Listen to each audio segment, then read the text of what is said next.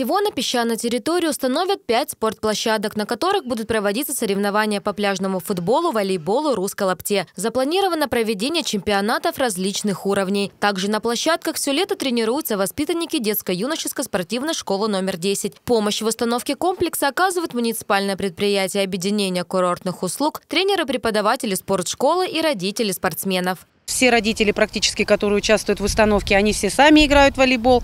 У нас целые династии волейболистов. Я думаю, что это будет самое лучшее праздничное место в Анапе для проведения активного отдыха.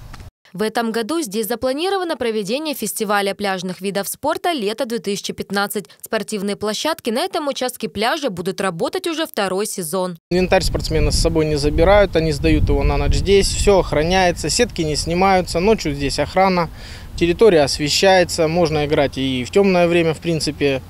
Э, играют как э, и наши спортсмены, так и приезжие, так и просто отдыхающие. Работы по установке спорткомплекса завершатся к 1 июня.